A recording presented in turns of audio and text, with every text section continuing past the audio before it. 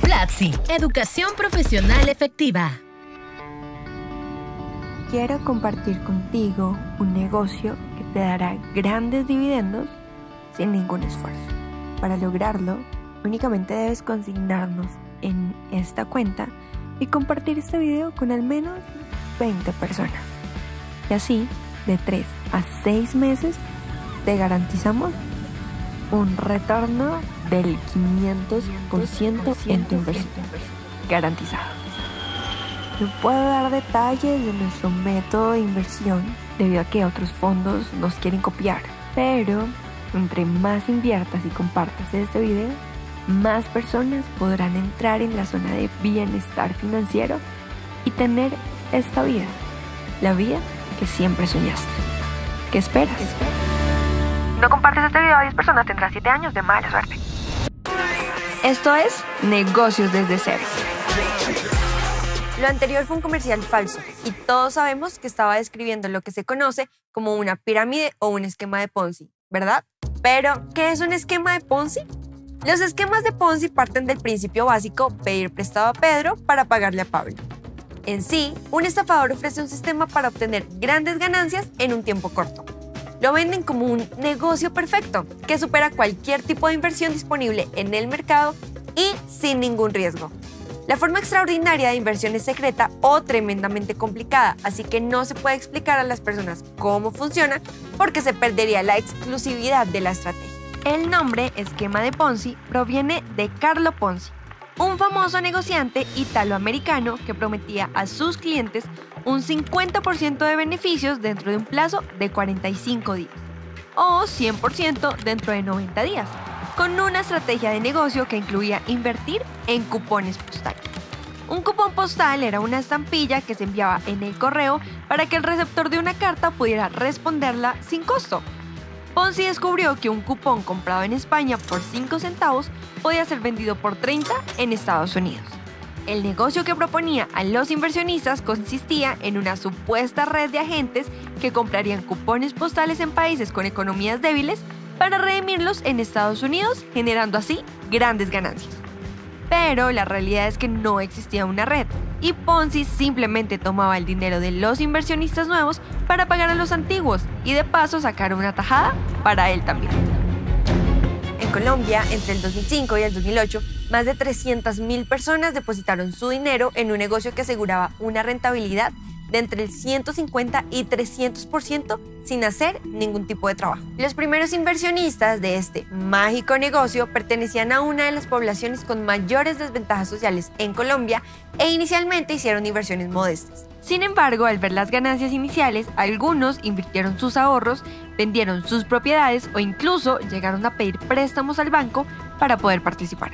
Fueron varias las empresas que ofrecían ganancias descomunales a los colombianos, pero la más grande se llamaba DMG SA, cuyas siglas provienen del nombre de su fundador, David Murcia Guzmán.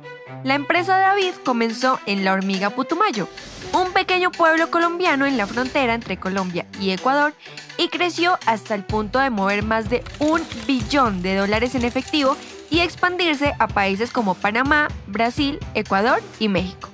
Al llegar a la hormiga, Putumayo, David Murcia primero se da cuenta que casi nadie tiene acceso al sistema bancario. Y segundo, que las personas utilizaban excesivamente las ventas por catálogos para obtener bienes a domicilio desde las ciudades más cercanas. Murcia empieza a comprar los mismos productos de los catálogos para venderlos junto a un grupo de vendedores. El negocio va muy bien, y decide fundar una empresa utilizando su nombre, el grupo DMG SA, el cual, además de vender bienes por catálogo, ofrecía la oportunidad de invertir capital con la promesa de duplicar la inversión en seis meses con un sistema de tarjetas prepago. Cuando se invertía dinero en el grupo DMG, se recibían dos tarjetas prepago. Una tarjeta correspondía al capital entregado con la que se podían comprar bienes y servicios de DMG por exactamente el dinero depositado y la segunda tarjeta prepago hacía una promesa. Seis meses después se podían redimir en dinero una cantidad igual a la que ya se había gastado en servicios de DMG con la primera tarjeta. También era posible reinvertir para generar aún más ganancias. La primera tarjeta era más o menos normal, pero la segunda tenía características propias de una pirámide, porque la persona firmaba un contrato por publicidad y al firmarlo debería referir otras tres personas nuevas. Luego, durante los seis meses siguientes, tenía que traer por lo menos otras 20 personas más para así poder reclamar sus ganancias. En otras palabras, algo muy parecido a un esquema de pirámide. Los sistemas de pirámide son similares a los esquemas de Ponzi, pero no son lo mismo. En un esquema de Ponzi, el estafador actúa como un centro o fachada para las víctimas e interactúa con todos. Él es un gurú financiero que descubrió un exclusivo sistema para generar dinero, el cual no puede explicar a nadie más. Por otra parte, en una pirámide las personas deben reclutar nuevos participantes para recibir beneficios. Si se falla en traer nuevas personas, se pierde la inversión. O sea, en una Ponzi hay un sistema secreto que genera riqueza, mientras que en una pirámide de forma explícita se sabe que las ganancias provienen de los nuevos inversionistas. En ambos casos, los participantes desconocen que son parte de una estafa o creen fielmente que el sistema no puede fallar. Pero matemáticamente es imposible que sigan entrando nuevos inversionistas para siempre. En este gráfico de esquema de pirámide clásico, cada persona tiene la obligación de reclutar seis nuevos miembros. Si seguimos su evolución y nadie falla en traer seis nuevas personas en cada nivel, en el nivel 10 se excedería la población total de Colombia. En el 12, todas las personas de Latinoamérica y al llegar al nivel 13, la población completa de la Tierra tendría que participar para seguir generando ganancias y aún así el sistema fracasaría. Sin embargo, DMG SA fue todo un éxito por un buen tiempo, porque con las tarjetas prepago de DMG se podía comprar y suplir cualquier necesidad, desde productos de la canasta familiar hasta carros, casas e incluso viajes. Las tarjetas prepago eran equivalentes al dinero y a pesar de que a veces el precio de los bienes eran mayores que los del resto del mercado, no importaba, porque al cabo de seis meses se obtendría el dinero de vuelta. El 90% de la población, no solo de la hormiga, sino de todo el departamento, usaba las tarjetas. Luego la empresa se expandió por todo el país. Los catálogos eran cuestión del pasado y en todo el país había tiendas físicas de DMG en donde comprar bienes y participar del negocio. En 2007, DMG tenía 26 oficinas en 20 poblaciones del país y para el 2008 se había ampliado a Brasil y México. David diversificó su capital y fundó otras 20 empresas que incluían dos canales de televisión, empresas de construcción y una proveedora de salud, entre varias otras. DMG no preguntaba por la procedencia del dinero y toda Colombia comenzó a invertir. Ricos, pobres, políticos, famosos, honestos y deshonestos la gente empezó a vender sus propiedades, empeñar sus pertenencias y hacer préstamos en la banca tradicional para poder participar. Hasta que dos entidades del Estado colombiano encontraron irregularidades en los números de MG y obligaron a cerrar la empresa.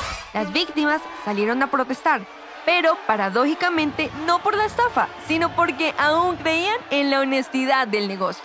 El Estado colombiano decreta entonces una emergencia social por la situación e interviene a DMG.